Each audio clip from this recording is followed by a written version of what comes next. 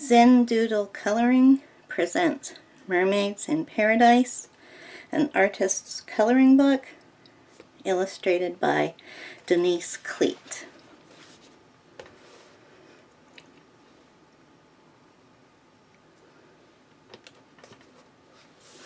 Published by St. Martin's Griffin.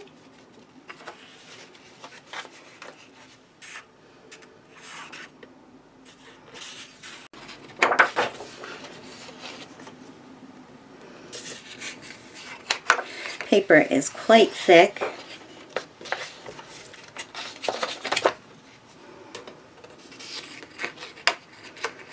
I'll take marker with no problem. Pages are one-sided,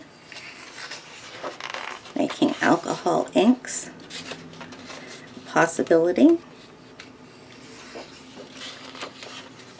Pages are not perforated.